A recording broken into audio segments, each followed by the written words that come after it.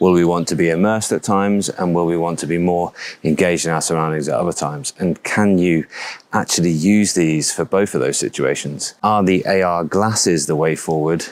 for everyday use? And are we going to have a future where we all have a pair of these on our face with both sound and screens and maybe cameras as well? Or is it the case that we prefer no, just to stick with the vision that we've been happy with for all of these millennia and save the immersive stuff for our goggles in our own homes?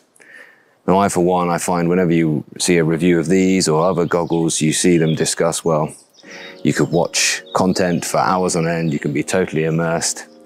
I don't personally see the need for that. I mean, I'm quite happy with my home cinema setup.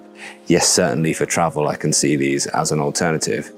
But I think, you know, if you're the type of person that wants to watch hours of content, that wants to play games endlessly, then sure.